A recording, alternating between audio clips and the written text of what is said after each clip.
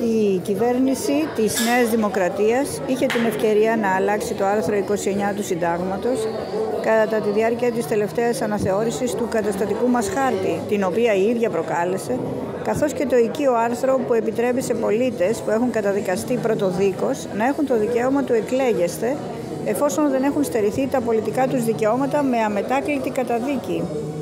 Η κυβέρνηση της Νέας Δημοκρατίας είχε τη δυνατότητα να φέρει προς αναθεώρηση ρύθμιση αντίστοιχη με αυτές που περιλαμβάνουν το γερμανικό και το αυστριακό σύνταγμα, στα οποία έκανε χθες αναφορά ο Πρωθυπουργός στη Βουλή, εάν πραγματικά το ήθελε. Η δράση της χρυσής αυγής ήταν γνωστή όταν το Σύνταγμα αναθεωρείτο. Δεν γνωρίζουμε βεβαίως τι σημαίνει ακριβώς στέρηση πολιτικών δικαιωμάτων στον 21ο αιώνα μετά την πρόσφατη κατάργηση της ρύθμισης αυτής από το νέο ποινικό κώδικα. Αλλά, εν πάση περιπτώσει, το ζήτημα δεν είναι αυτό. Το ζήτημα είναι εάν το Σύνταγμα επιτρέπει την απαγόρευση της ίδρυσης και λειτουργίας κομμάτων, καθώς και της καθόδους τους στις εκλογέ, εθνικές εκλογές. Η Νέα Δημοκρατία δεν αναθεώρησε το Σύνταγμα. Ήταν η εποχή που προηγείται στις δημοσκοπήσεις με 20 μονάδες.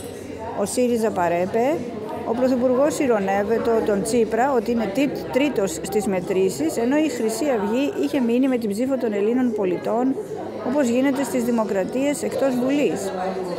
Σήμερα η κυβέρνηση καταθέτει νομοθετική ρύθμιση, τροπολογία, σε άσχετο νομοσχέδιο του Υπουργείου Εμπορίου στην Βουλή, με την οποία επιδιώκει το πρωτοφανές να αναθεωρήσει με νόμο το Σύνταγμα. Μόνο που στις δημοκρατίες οι κανόνες είναι για να τηρούνται και τα συντάγματα ψηφίζονται για να γίνονται σεβαστά.